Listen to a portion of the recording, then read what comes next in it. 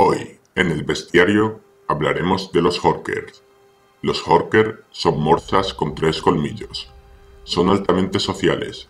A menudo se encuentran en grupos de 3 a 5.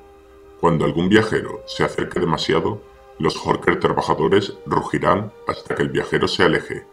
Pero si son acosados o atacados, todo el grupo de Horkers se volverán agresivos. Aunque son resistentes y rápidos en aguas profundas, son lentos y fáciles de evitar en tierra. Esto los convierte en objetivos fáciles, especialmente para ataques a distancia. Cuando están gravemente heridos, los trabajadores a menudo huirán. Se encuentran junto a las aguas frías, en los ríos y en las costas del norte de Skyrim. Se comenta también que los colmillos de los Horker tienen propiedades alquímicas. Hasta aquí este breve vídeo sobre los Horker. Nos veremos en el siguiente.